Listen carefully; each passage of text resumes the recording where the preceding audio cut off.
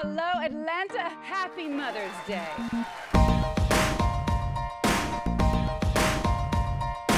Hey, you know no junk food for breakfast. Dad lets us. He also lets you go to school without any underwear. It's called free balling, Mom.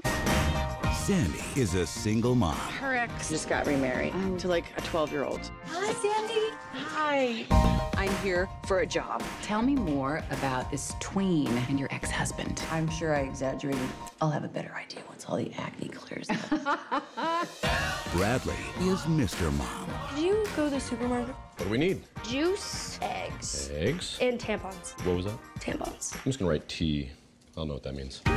Need a price check on organic and No, that's not necessary. Daughter, Yeah, two. same boat, two sons. It's nice meeting you. Sandy with two sons. Jesse never sees her mom. It's just all this Mother's Day stuff, and I start thinking about how I haven't talked to mom. Hi. Oh, I have to say, Jess, You haven't aged that much. Thank you. I will run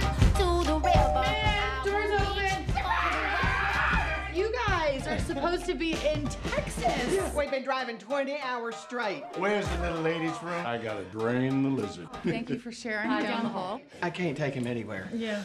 Kristen never met her mom. I was adopted.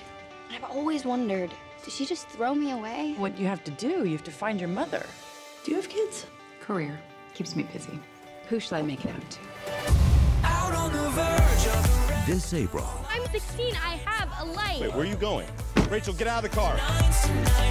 celebrate the one day No matter what's happened between us, you're always my mother.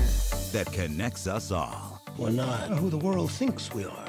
We decide who we are, when we want, and who we want to know. Out on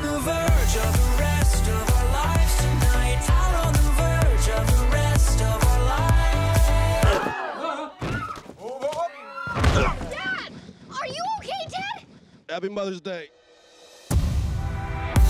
Mother's Day. Tanner, no, no, no, no. Oh. It's like the fourth time he's done this.